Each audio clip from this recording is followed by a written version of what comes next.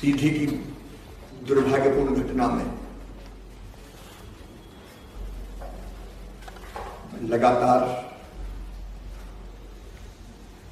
प्रशासन से और राहत के कार्यों में लगे हुए लोगों से मेरी चर्चा हो रही है। ये मेरे लिए अत्यंत दुखद है कि लगभग अठारह सब अब तक निकाले जा चुके हैं। मन बहुत व्यथित और दुखी है। लगातार वहाँ काम जारी है, दोनों मंत्री भी। तुलसीराम सिलावट जी और राम खिलावन पटेल जी रवाना हो रहे हैं।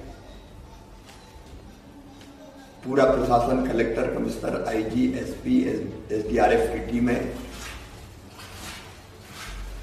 सभी लगे हुए हैं। हम जो बेहतर संभव है सब करने का प्रयास कर रहे हैं। इस दुखद घटना में, दुर्भाग्यपूर्ण घटना में, जो हमारे भाई बहन नहीं रहे, उनके परिवार को पाँच लाख रुपए की तात्कालिक सहायता राहत प्रदान की जाएगी। दुख की घड़ी में हम उन परिजनों के साथ हैं। पूरा प्रदेश उनके साथ खड़ा है। मेरी सबसे अपील है कि धैर्य रखें। मैं ये पूरी प्रदेश की सरकार, प्रदेश की जनता आपके साथ है मेरे प्रिय बहनों और भाइयों, आज हम बड़े उत्साह से एक लाख दस हज़ार घरों में गृह प्रवेश का कार्यक्रम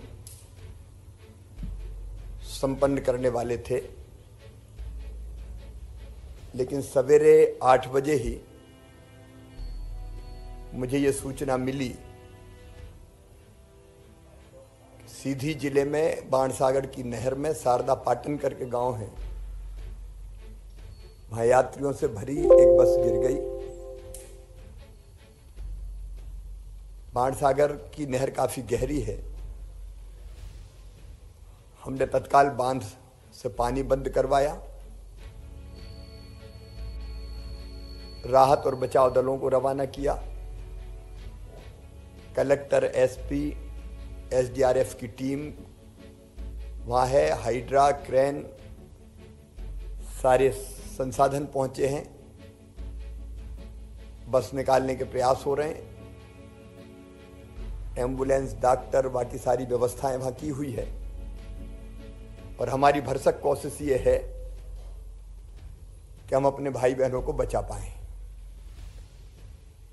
लेकिन ऐसी परिस्थिति में मेरा भी पूरा दिमाग शरीर, मन, बुद्धि और आत्मा उन्हीं यात्रियों में लगी हुई है। इसलिए आज कार्यक्रम करना उचित नहीं होगा। मैं भी तुरंत यहाँ से राहत और बचाव कार्य करने वाली टीम के संपर्क में आठ बजे से ही हूँ। लगातार उन्हीं के संपर्क में रहना चाहता हूँ। सात साथी बचाए जा चुके हैं जो निकल गए थे पहले। कोशिश ये है कि अपने भाई बहनों को सुरक्षित बचा पाएँ।